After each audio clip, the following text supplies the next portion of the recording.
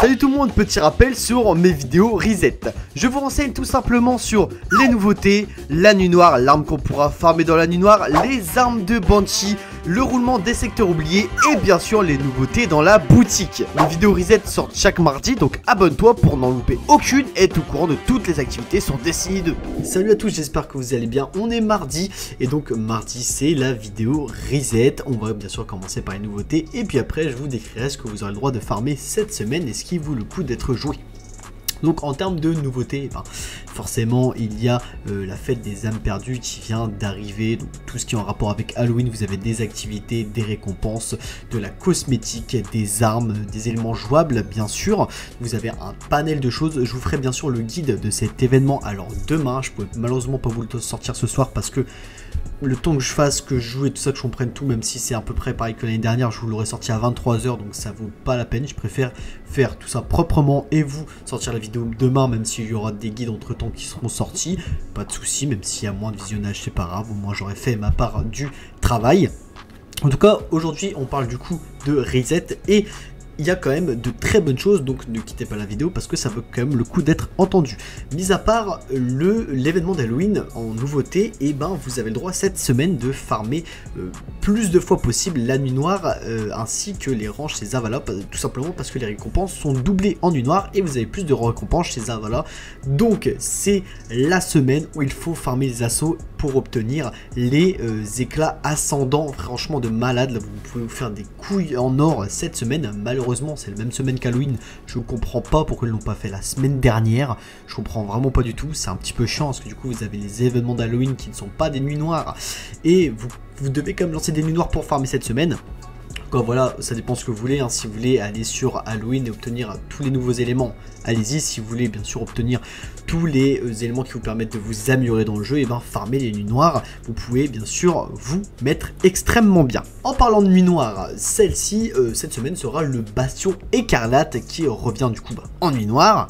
Dans cet assaut, vous aurez le droit de farmer euh, le Buzard, donc vous l'obtiendrez aussi beaucoup plus souvent, et donc je vous ai quand même confectionné un petit rôle, même si c'est pas la meilleure des armes, franchement il revient avec un rôle qui est pas mal du tout, donc si vous pouvez choper le frisson cinétique qui est franchement la plus intéressante des perks, largement pour le PVE bien sûr, de toute façon le Buzard plus PVE que PVP forcément, donc franchement, vraiment, le frisson cinétique, si vous n'avez pas cette perk là, pour moi, c'est pas très jouable. Ensuite, vous avez le mouvement perpétuel qui vous permettre d'aller beaucoup plus vite, de recharger beaucoup plus vite et tout ça. Ou alors le débordement qui peut être très très bien aussi si vous jouez beaucoup votre spécial et vous obtenez souvent des munitions avec des modes et tout ça. Pour euh, les... Euh, des perks passives, normalement je vous donne pas trop de conseils parce que voilà, mais les balles de ricochet sont très bons, tout ce qui vous donne de la portée, balles de ricochet, mission, en, gros tout ce qui est PVP, en vrai ça marche très très bien pour le PVE, ou alors si vous manquez de rechargement, vous pouvez bien sûr vous mettre un chargeur rapide qui peut être pas mal du tout. En termes de canon, vous arrêtez pas sur le canon, mais les freins de fleurs, tout ce qui donne généralement de la stabilité, de la portée, euh, on va prendre bien sûr, même quitte à vous enlever un petit peu de maniement pour le PVE, c'est ce qu'on va mettre de côté. Bon, ensuite, en termes de boutique, sur la première page, vous avez bah, tout ce qui est en rapport avec Halloween, même si je vous en reparlerai demain dans le guide, je me dois quand même de vous présenter dans cette vidéo, c'est quand même le but. Donc tous les costumes d'Halloween, là je suis sur chasseur, mais sur tous les personnages, donc vous avez le nouveau, vous avez les revêtements qui sont sortis. Sur la deuxième page, vous avez vraiment tout ce qui est en rapport avec Halloween, donc euh, tous les costumes des années précédentes qui sont juste ici, donc vous pouvez tout racheter bien sûr. Euh, bah, tout racheter en poussière brillante ou en argentum avec même des, bah, des réductions oui parce que j'ai des trucs mais en poussière brillante c'est ça c'est la bonne nouvelle. Il y a des années où on pouvait pas les acheter en, poussière brillante. Et encore une fois sur la dernière page vous avez encore euh, des revêtements.